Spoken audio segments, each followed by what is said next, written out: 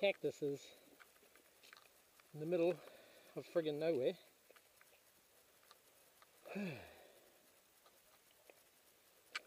Enjoying it so far?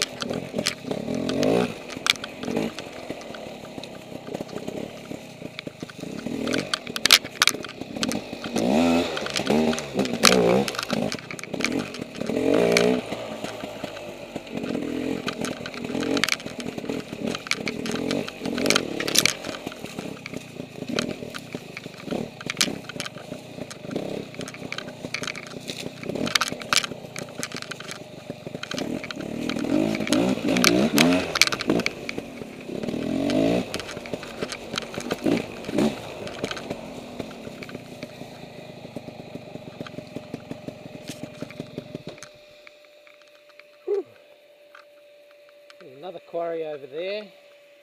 Housing development over there. Houses there. And someone else has been here. So that's pretty much the boundary.